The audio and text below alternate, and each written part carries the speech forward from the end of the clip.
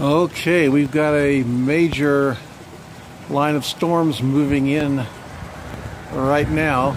Uh, the radar shows it heading to us from the west. You can already hear the uh, thunder, but uh, pretty ominous looking clouds. They say there's some ping pong ball size hail in the storm too, so hopefully it won't come here and uh, do any harm. But in any case, we'll keep an eye on it here.